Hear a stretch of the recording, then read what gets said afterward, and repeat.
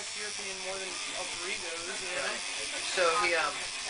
People just ask their way, like, through life. So uh. I just want to say bye. Oh, bye! nice to meet you. Nice to meet you too. Thanks Take for hanging out.